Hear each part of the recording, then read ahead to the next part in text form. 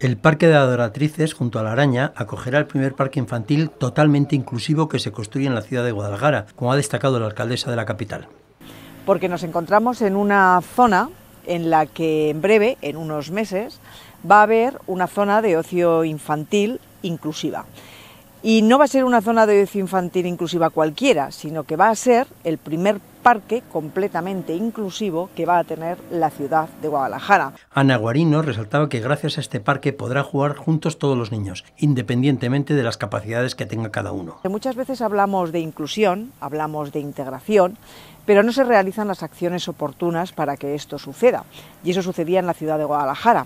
Y digo esto porque un parque inclusivo es aquel parque en el que personas con capacidades diferentes pueden jugar con otros niños y con otras niñas sin necesidad de permanecer aislados como venía sucediendo, produciéndose esa integración que es absolutamente necesaria, especialmente con el tema de eh, los más pequeños. La inversión prevista en esta infraestructura supera los 200.000 euros. Estamos hablando de una zona que va a ser aproximadamente de unos 265 metros cuadrados, donde aquella eh, parte que ustedes ven allí se va a mantener, pero la parte en la que nos encontramos actualmente es la parte que se va a cambiar y la parte en la que se va a construir ese parque, insisto, completamente inclusivo. Se instalará lógicamente con un nuevo pavimento de seguridad y nuevos y nuevos juegos infantiles.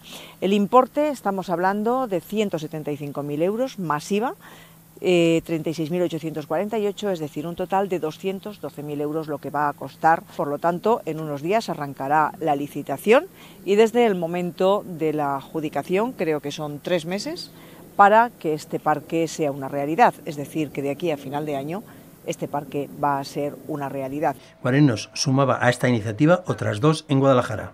Tampoco es la única inversión que hemos venido realizando a lo largo de estos meses del nuevo equipo de gobierno. Tengo que recordarles que junto con esta inversión, que antes de finalizar el año seguramente esté ya finalizada, hemos realizado otra inversión de 200.000 euros en el parque del nuevo Alamín, además de cerca de 25.000 euros que hemos invertido también en una zona de ocio en Iriepal.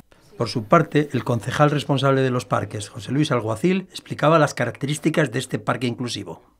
Bueno, pues este parque está dividido en diferentes tipologías eh, de juegos. En primer lugar tenemos pues, los juegos eh, de velocidad que irán eh, implantados en el, suelo del parque. Por otro lado, los juegos dinámicos que son pues, los balancines, como pueden ver, pues, los balancines, los carruseles, donde pues, cabe perfectamente una silla de ruedas.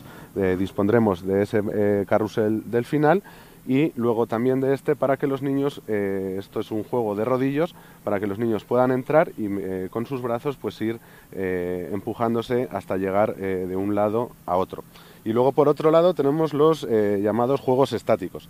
Estos juegos estáticos pues en qué consisten? Pues son juegos que van a tener pues diferentes texturas, también pues para el braille, etcétera, y también sonidos. Y luego todo el parque va a tener unos intercomunicadores para que los niños pues puedan hablar eh, y comunicarse desde un lado del parque hasta el otro. Eso es, hasta esa punta de ahí. Y luego, por otro lado, también habrá una gran caseta central, eh, también con toboganes adaptados eh, pues para todo tipo de discapacidades y también van a poder entrar dentro de, de, esta casa donde pues habrá pues diferentes actividades donde podrán jugar con ella.